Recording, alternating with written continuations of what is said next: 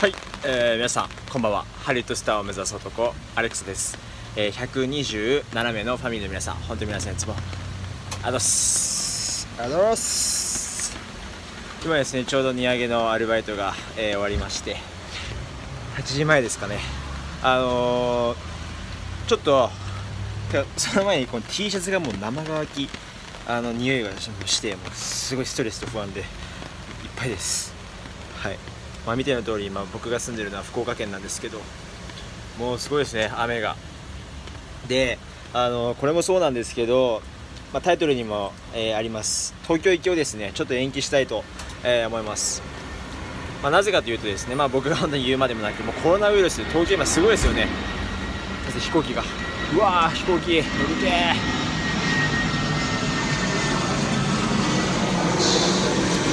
っぱ飛行機見るためにアメリカ行きたいなって本当に思いますね。はい。でまああの7月末まで借金が、えー、完済してですね、えー、で1ヶ月休憩してで9月に、えー、東京に飛ぼうと思ってたんですけどちょっと思いのほかコロナウイルスの第2波が、えー、今また来てましてこう多分今までの本当に僕だともうそんなの関係ねえからとりあえず決めたことを何でもやるんだみたいな感じで多分お構いなしに東京多分飛んでたと思うんですけど前回の病気を経てですねやっぱいろんな方から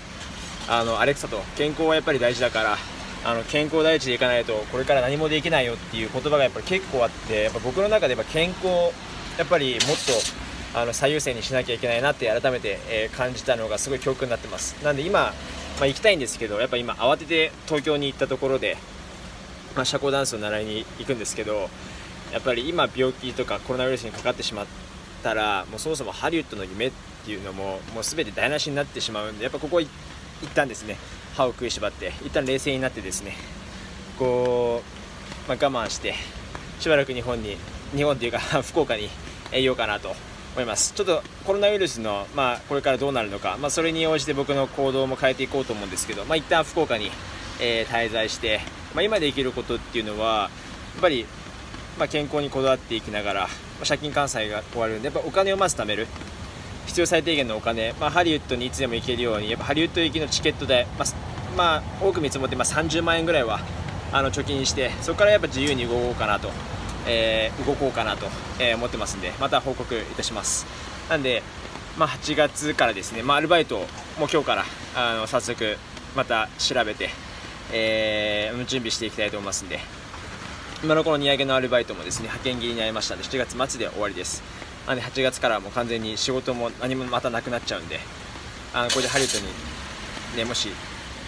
来れるかと言われた時に行けないですよね。お金の余裕がないんで。なんでお金をしっかり貯めてまた行きたいと、えー、準備していきたいと、えー、思います。以上ですね。ハリウッドスターを目指す男、えー、アレクサ今からドン・キホーテに行って、えー、25円のおにぎりが8時からうわーもう8時になってる。僕の大好きなおかかのおにぎり毎回多分僕と同じような人がいるんでしょうね。毎回なくなるんですよ。もうすぐソールドアウトになって。ちょっと急ぎます。はい。以上ハリウッドスターを目指す男アレクサがお送りしました。それでは皆さん失礼します。